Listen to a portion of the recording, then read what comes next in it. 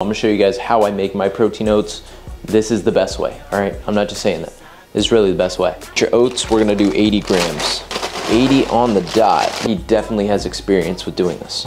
I don't know who puts bananas in cabinets. Definitely not me. One banana. Act like an absolute animal and just mash this up with your hands. I don't have a knife. I have two forks and a spoon, no knife. I have a cutting board, but no knife. Add some water, microwave, bam, 30 seconds. All right, gonna add some protein powder. Two scoops, two scoops is better. It's double the protein, literally. Whole, salt. You're going to do some mixidation. That's not a word, but it should be. James Harden, just a handful.